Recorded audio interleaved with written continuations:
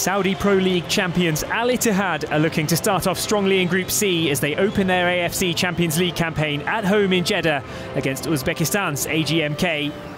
Oh, loose pass from AGMK and it's picked up in space by Romarinho for Al Ittihad. He finds Mohamed Shanqeeti, shot saved, but it's still loose in the penalty area and it's into the back of the net too. Abderrazak Hamdallah found Haroun Kamara and Kamara made it 1 0 in the 11th minute. A little unfortunate for the goalkeeper of AGMK. Ergashev made the save, but AGMK could not clear the danger, and Haroun Kamara made them pay. Kante, that's floated over beautifully for Kamara. Lifted up, he tees himself up, shot blocked, it's loose in the box again. And just a few minutes after the first goal, they score in similar circumstances. Romarinho with the goal this time around. Once again, AGMK make the first block, but the loose ball falls their way and the hosts are clinical.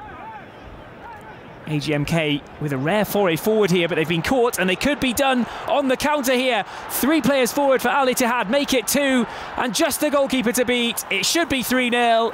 It isn't 3 0. Unbelievable. Well, that was just far too casual. Hamdallah should have gone himself, waited for support, but full marks to Botirali Ergashev for saving his team there. Ball's played back for Hamdallah in the area. Tries to go down to the byline. Surely he was caught there.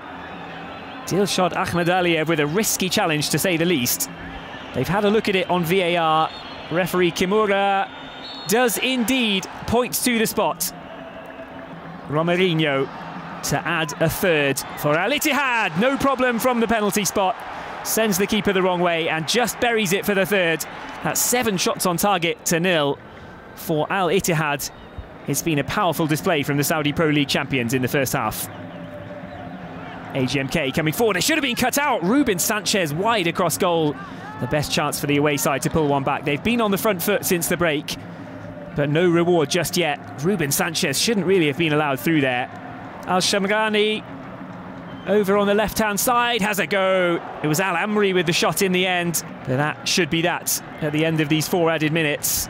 A very satisfying start overall to Group C from Al Ittihad. A comfortable 3 0 scoreline and a chance to take it pretty easy after the break, in all honesty.